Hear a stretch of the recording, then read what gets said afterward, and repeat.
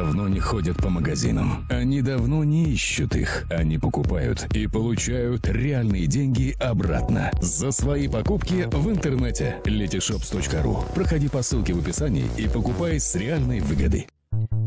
Итак, ребятки, сегодня у нас новости из мира Apple про iOS 10.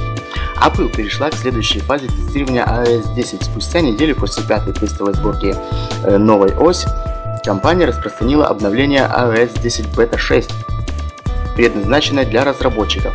Одновременно стала доступна публичная бета-версия iOS 10 Beta 5.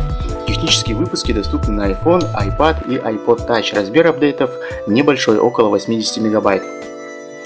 Новая бета iOS 10 направлена на улучшение стабильности работы и совместимости со сторонними приложениями, повышение энергоэффективности, а также добавляет ряд новых функций. Скорее всего, это одна из последних сборок перед выходом финального обновления в сентябре. Данный выпуск содержит несколько незначительных изменений и исправления выявленных ошибок. Кроме того, повысилась стабильность и производительность iPhone и iPad. Файл весит в смартфонах около 80 мегабайт, в зависимости от модели iOS 10 совместима э, со всеми э, видами iPhone, начиная с пятой версии, и со всеми, почти со всеми видами iPad. Также с э, iPod 4, ой, простите, 6 поколения. Установить iOS Developer Beta 6 и iOS Public Beta 5 можно через систему обновлений на мобильных устройствах меню «Основные» и обновления ПО Финальная версия iOS 10 э, станет доступна для пользователей iPhone, iPad и iPod Touch в сентябре. Что нового iOS 10 Beta 6?